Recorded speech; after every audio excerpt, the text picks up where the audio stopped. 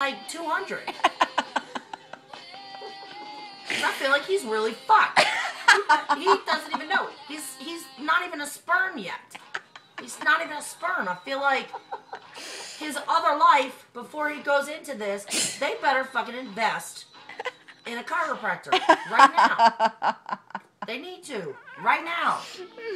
If I knew who his like fucking ancestors are right now or will be when he's alive, I feel like we should tell them, but we don't even know. We don't even know who they are.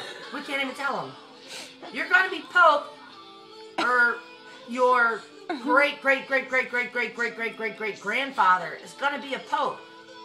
So make sure you have a good long line of fucking chiropractors, because by the time he gets around, guess what?